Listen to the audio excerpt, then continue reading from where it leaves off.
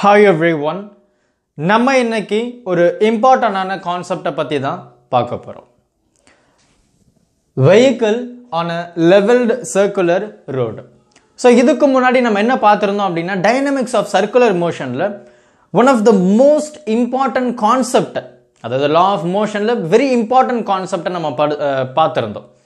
Centripetal force அப்படின்றது. So இந்த centripetal ஃபோர்ஸை நம்ம சென்டர் சீக்கிங் ஃபோர்ஸ் இல்லைனா ஃபர்ஸ்ட் டுவர்ட்ஸ் சென்டர் அப்படின்ற மாதிரி நம்ம டிஸ்கஸ் பண்ணியிருந்தோம் இல்லையா? ஸோ இந்த டாபிக் இதுதான். Vehicle on a levelled circular road eleventh standard ஃபிசிக்ஸில் சாப்டர் த்ரீ லா ஆஃப் மோஷனில் இந்த டாபிக் வந்து இருக்கு. ஸோ இதை நம்ம எப்படி நம்ம பார்க்கலாம்? இப்போ ஒரு நமக்கு என்ன தெரியும் அப்படின்னா நம்ம இந்த டைனாமிக்ஸ் ஆஃப் சர்க்குலர் மோஷன் மூணு கேட்டகரியை நம்ம பார்த்துருந்தோம்.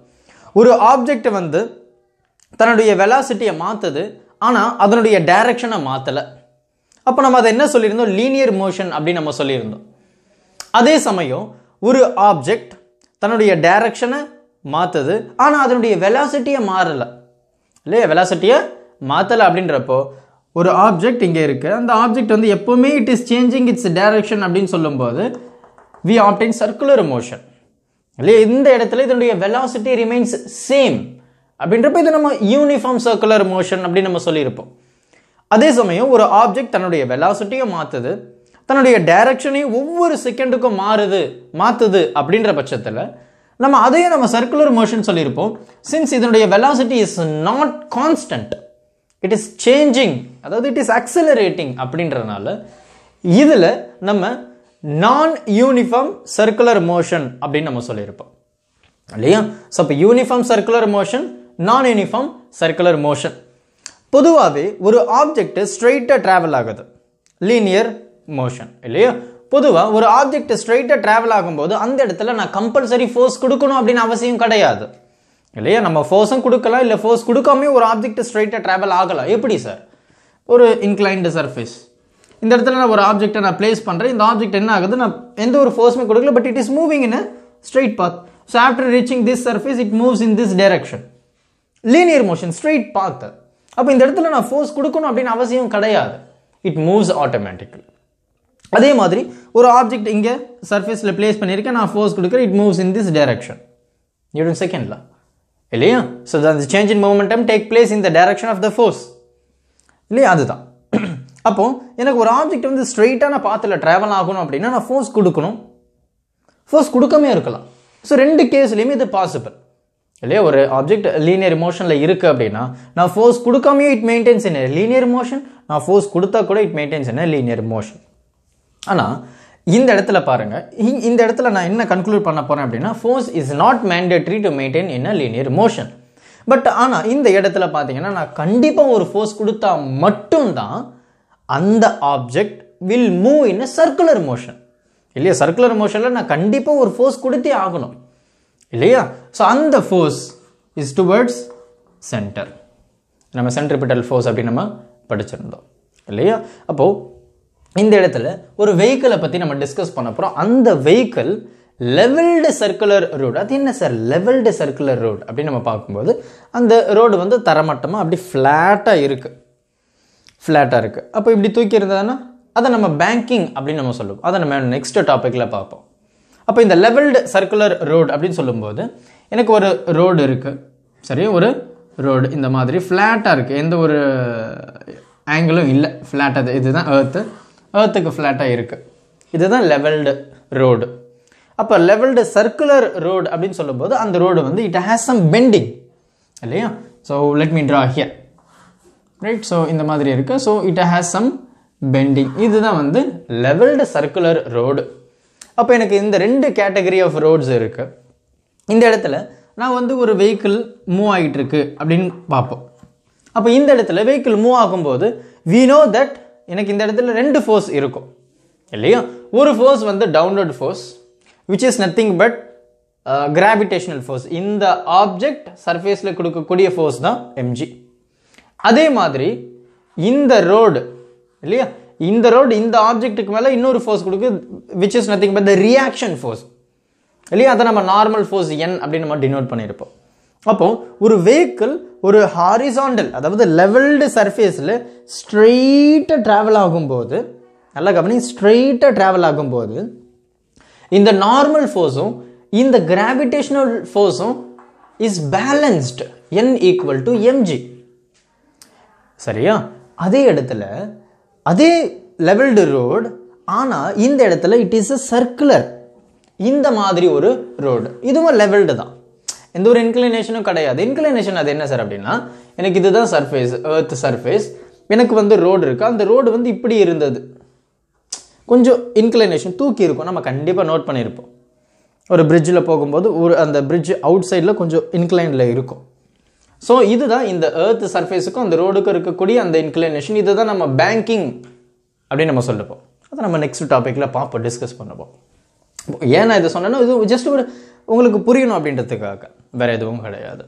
அப்போ இந்த இடத்துல எனக்கு இந்த மாதிரி ஒரு லெவல்டு சர்க்குலர் ரோடுப்பா அப்போது ஸ்ட்ரெயிட்டாக வரக்கூடிய வெஹிக்கிள் இந்த ஒரு பாத்தை சூஸ் பண்ணும்போது இந்த இடத்துல the vehicle will take a turn அப்போது நமக்கு என்ன தெரியும்?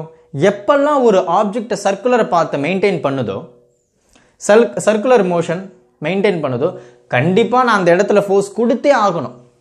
இந்த லீனியர் மோஷனில் இட் இஸ் நாட் மேண்டேட்ரி கண்டிப்பாக நான் ஃபோர்ஸ் கொடுக்கணும்னு அவசியம் கிடையாது.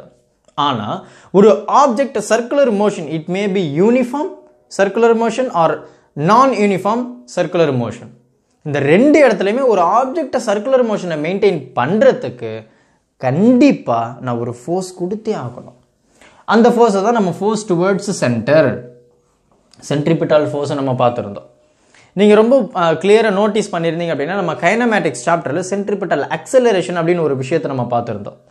இல்லையா? ஸோ அந்த இடத்துல அந்த change in velocity is taking place towards the centre அதுதான் நம்ம அங்கே அந்த அந்த இடத்துல நம்ம சென்ட்ரிபிட்டல் அக்சலரேஷன் சொல்லியிருப்போம். அப்போ இந்த இடத்துலையும் அதே தான் நடக்க போகுது. அப்போது ஒரு ஆப்ஜெக்ட் ஒரு சர்க்குலர் பார்த்து கடக்கும்போது ஒரு வெஹிக்கிள் இந்த இடத்துல. வெஹிக்கிள் வந்து ஒரு சர்க்குலர் ரோடை கிராஸ் பண்ணும்போது இந்த இடத்துல there is a force there is an acceleration கண்டிப்பாக இருக்குது அக்சலரேஷன் இருக்குது இல்லைன்னு சொல்லவே முடியாது. ஏன்னா சர்க்குலர் பார்த்து அந்த அக்சலரேஷன் இஸ் டுவர்ட்ஸ் சென்டர் இல்லையா? சென்டரில் இருக்குது இதை தான் நம்ம சென்ட்ரிபிட்டல் அக்சலரேஷன் அப்படின்னு நம்ம சொல்கிறோம் அப்போ இந்த இடத்துல என்ன மாதிரி எனக்கு சென்ட்ரிபிட்டல் ஃபோர்ஸ் இருக்குது அப்படின்னு நம்ம பார்த்தோம்னா நமக்கு ரொம்ப கிளியராக தெரியும். இந்த ரோடுக்கும் இந்த வெஹிக்கிளுடைய டயருக்கும் இருக்கக்கூடிய force which is nothing but frictional force இல்லையா? ஸ்டாட்டிக் ஃப்ரிக்ஷன் இந்த இடத்துல static friction will act as a centripetal force நம்ம ரொம்ப டீ டீட்டெயில்டாக நம்ம டிஸ்கஸ் பண்ணியிருந்தோம் லாஸ்ட்டு வீடியோவில் இல்லையா? அப்போ இந்த centripetal force is not a natural force அது மேபி கிராவிடேஷனல் ஃபோர்ஸாக இருக்கலாம். ஒரு ஏர்த் இருக்குது அதை சுற்றி ஒரு சேட்டலைட் ரிவால்வ் ஆகும்போது இந்த இடத்துல அந்த ஏர்த்துக்கும் அந்த சேட்டலைட்டுக்கும் எந்த ஒரு கயிறும் இல்லை. எந்த ஒரு ஸ்ட்ரிங்கும் இல்லை.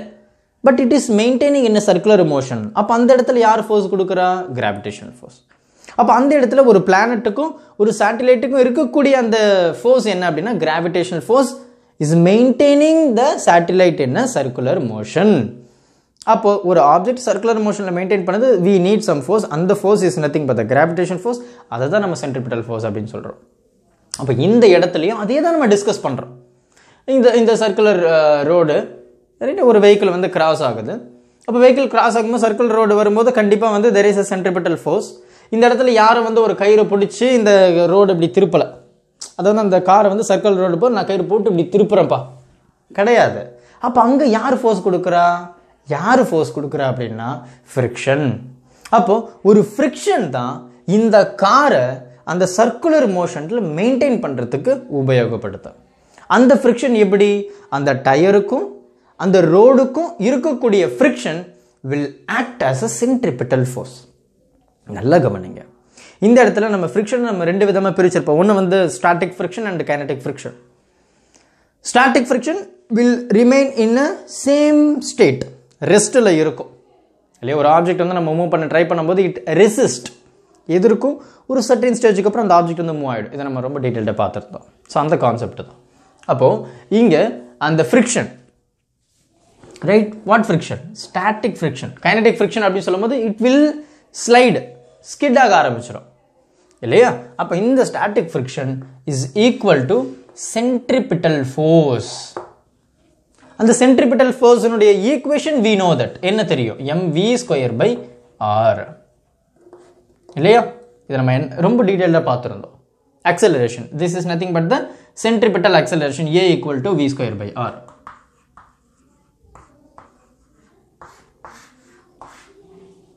கரெக்டா அப்போ இந்த வெஹிக்கிள் ஒரு சர்க்குலர் ரோடை மெயின்டைன் பண்ணாது ஸ்கிட் ஆகாமல் மெயின்டைன் பண்ணணும் அப்படின்னா அங்கே ஃப்ரிக்ஷன் இருக்குது அந்த friction is acting as a centripetal force இல்லையா ஏன்னா acceleration is towards the centre there must be force force இல்லாமல் ஒரு ஆப்ஜெக்டை சர்க்குலர் மோஷனில் மெயின்டைன் பண்ணுறதுக்கு வாய்ப்பே கிடையாது சரியா அதுதான் அப்போ acceleration we know that centripetal acceleration வந்து towards the centre v square by r v is nothing but the velocity r is nothing but the radius of the circle